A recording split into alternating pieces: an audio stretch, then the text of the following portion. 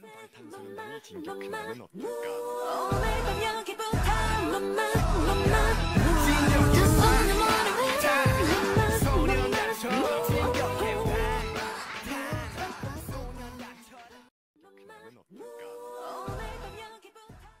Hello Army Moos, Mamamoo Bangtan back with another video. For this video, we will be reacting to Whee In the Mood Beyond Concert Fan Cam performances of Easy, Trash, Bite Me, Butterfly, and Make Me Happy.